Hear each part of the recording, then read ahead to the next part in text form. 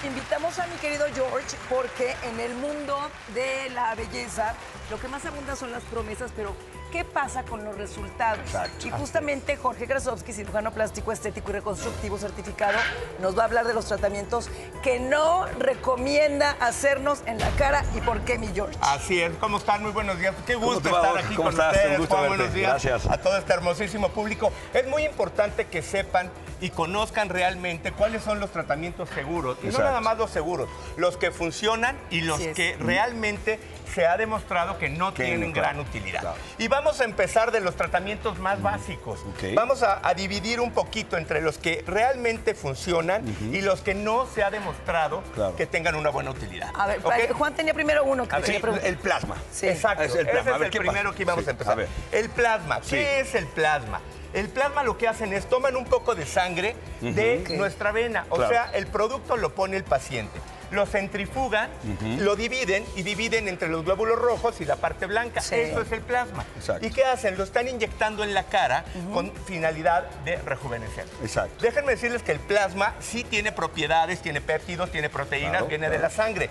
Pero de eso a que esté demostrado que funcione como rejuvenecimiento Wow. En la cara, hasta el día de hoy no se ha O demostrado sea, absolutamente ¿dirías nada. sí o no? No, porque inflama No. la cara. Cuando la inflama dicen, wow, se ve bien.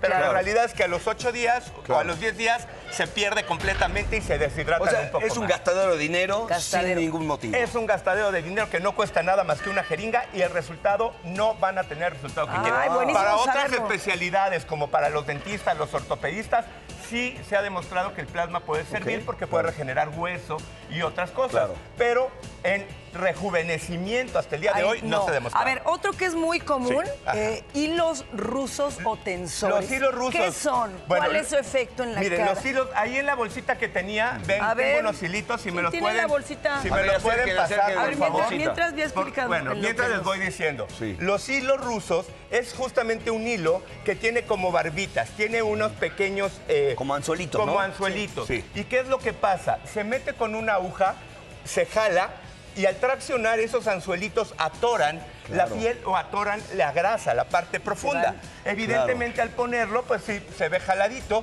pero a veces no se fija nada. Eh, otras veces sí lo fijan, Claro. ah, lo pueden amarrar, pero ¿qué pasa?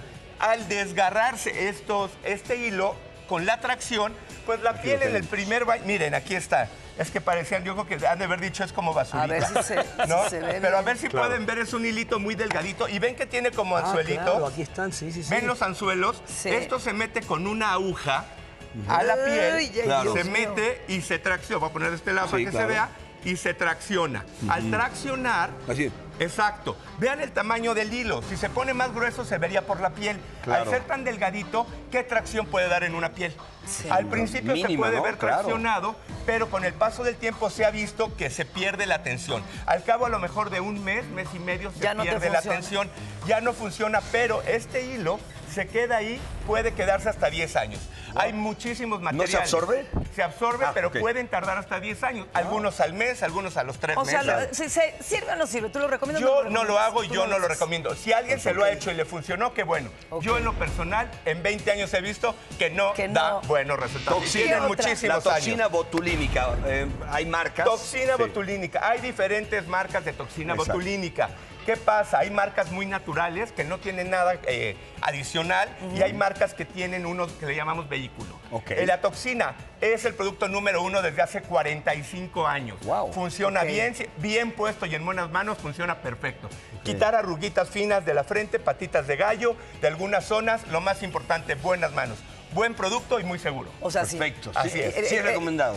Sí es recomendado. Eh, á- ácido Hialurónico. hialurónico. Ácido ¿Sí hialurónico no? y ácido qué? poliláctico, Sí. los dos que nos faltan. El ácido hialurónico excelente es un producto que produce el cuerpo. Claro. Obviamente se fabrica en forma sintética, Claro. sirve para rellenos de profundidad en surcos nasogeniano, claro. línea de marioneta, se pone una vez, dura más o menos hasta un año puede durar, Wow. un producto seguro en buenas manos.